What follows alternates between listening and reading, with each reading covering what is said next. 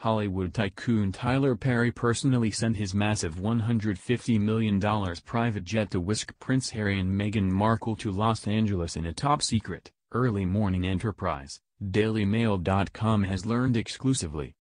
The hush-hush operation allowed the secrecy-obsessed royals to leave their temporary home Ontario Canada's Vancouver Island and to avoid any wait at customs once they arrived in California.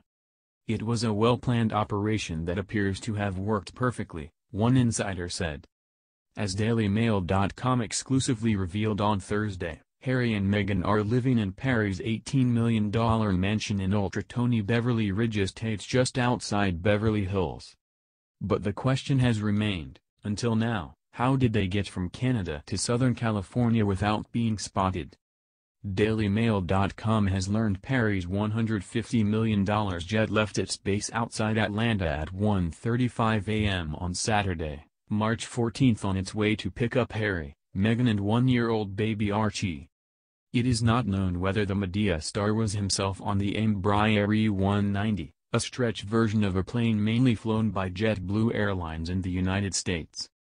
The plane landed at a corporate airport in Portland, Oregon, five hours later at 3.39 a.m. West Coast time, staying for a little over an hour before flying on to Victoria International Airport, just minutes from the waterfront home in North Saanich where they had been living since fleeing England.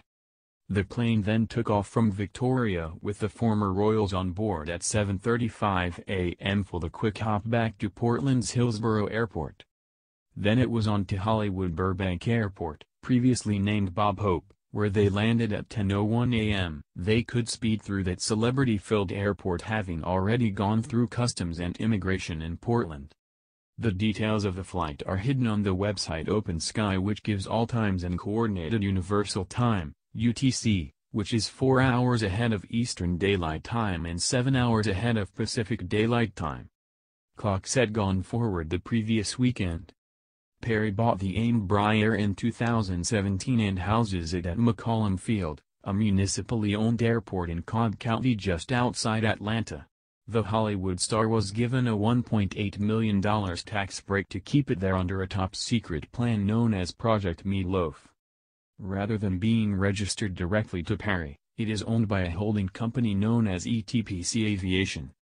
The plane, with a top speed of 541 miles per hour, is large enough to carry up to 124 people in coach class. It's a beast, said one aircraft insider. Why anybody would want a private plane of this size is beyond me. The move from Canada, part of the Commonwealth which is headed by Harry's grandmother Queen Elizabeth, to the United States came a couple of weeks before the couple officially transitioned out of their royal roles and just a week before Canada started to restrict border crossings due to the coronavirus pandemic.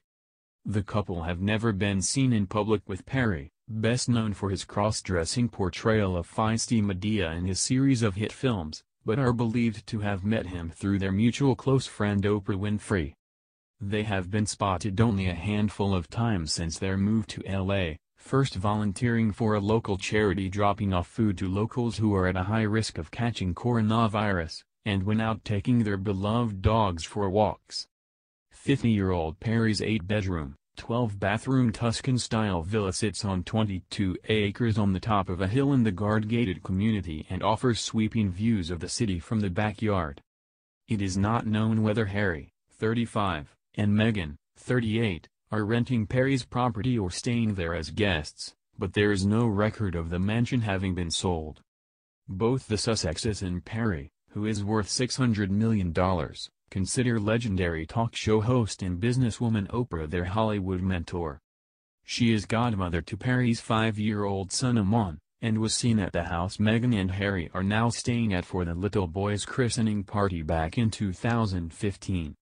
The Duke and Duchess are currently working on a documentary series with Oprah, while Perry has partnered with Oprah's own television channel in the past. A source told DailyMail.com, Meghan and Harry have been extremely cautious to keep their base in LA under wraps. Their team helped them choose the location for their transition to Los Angeles wisely.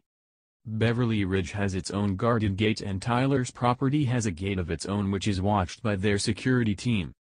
Beverly Ridge is an excellent place to keep out of view. The neighbors are mostly old money and mega-rich business types rather than show business gossips. It goes without saying that the location is stunning, just one of the most beautiful and desirable areas in LA. Beverly Ridge Estates is close to the Van Nuys Private Airport and some of the most desirable private schools on the west side of Los Angeles.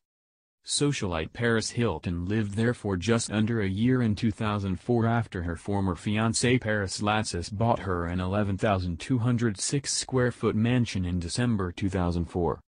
Other local celebrities who have owned homes in the community include ex-spouses David and Carlton Gebbia, who starred on reality show Real Housewives of Beverly Hills and had a burlesque room in their $22 million Gothic-style mansion.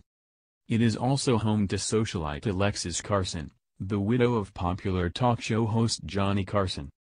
Top Hollywood real estate agent Rochelle Maize of the Nourmand and Associates agency told DailyMail.com, Beverly Ridge Estates has just 14 homes but is very prestigious and chic. There are not many rentals on offer there because of the limited number of properties. Leases start at around $20,000 and can go up to $40,000 a month. It costs around $16 million to buy a property there.